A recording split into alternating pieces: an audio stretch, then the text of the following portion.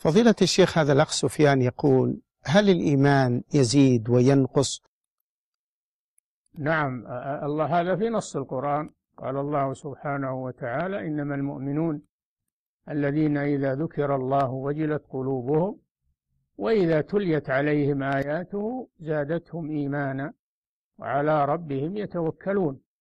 فالإيمان يزيد بالطاعات وينقص بالمعاصي. ولهذا قال العلماء الإيمان قول باللسان واعتقاد بالقلب وعمل بالجوارح يزيد بالطاعة وينقص بالمعصية.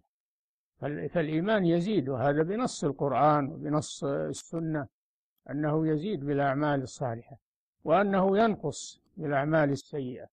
ولهذا قال النبي صلى الله عليه وسلم من رأى منكم منكرا فليغيره بيده فإن لم يستطع فبلسانه فإن لم يستطع فبقلبه وذلك أضعف الإيمان.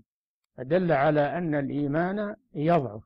وقال تعالى في هؤلاء هم للكفر يومئذ أقرب منهم للإيمان. فالإيمان يضعف حتى لا يبقى منه إلا حبة خردل ويزيد حتى يكون كأمثال الجبال. نعم.